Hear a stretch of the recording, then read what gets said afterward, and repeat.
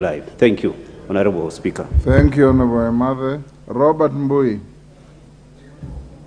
Uh, Thank you, thank you, Mr. Speaker. Mr. Speaker, I rise on um, Standing Order 1, uh, which uh, basically indicates uh, in the absence of uh, um, something that is not given direct, expressly provided in the standing orders, that uh, we can seek that you help to give direction.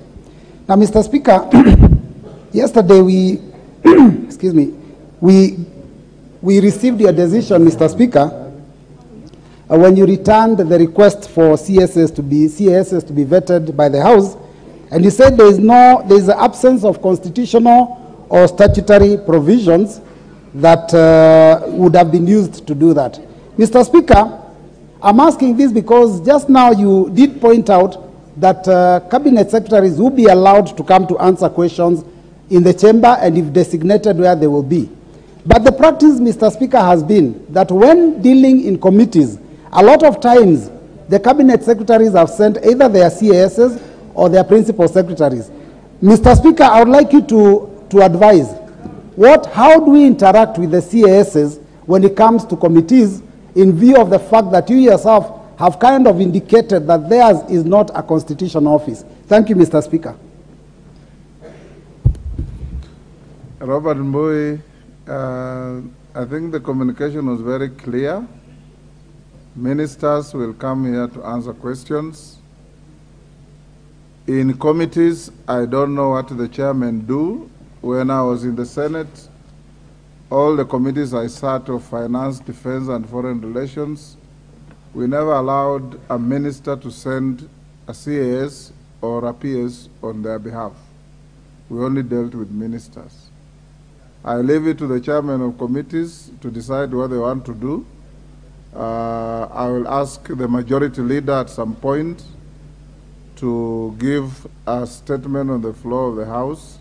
What I, however, need to make clear is that uh, the appearance of ministers in plenary here is not a closure of their appearance in committees. There will be questions that will be inadequately prosecuted on the floor, and the discretion of the Speaker may direct them back to committees for further inquiry and investigations. There may also be questions which, in the opinion of Mr. Speaker, and on the advice of the clerk, may require in-depth investigations and may be sent directly to committees. But I also know that uh, question time is the sweetest time for members of parliament in the plenary. So every member who files a question, I'll give you your day. If it's inadequately answered, I'll send you to prosecute it in the committee, as has been done in the past.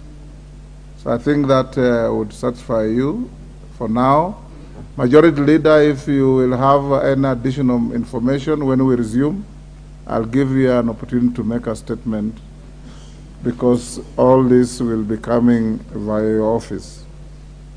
Next order. Order number three, messages. Order number four, petitions. Order number five, papers. Before the majority leader presents the papers, honorable members have been asked by the Honorable Dr. Nyikal to remind you that when you eulogized the doyen of feminist politics in Kenya, the Honorable Grace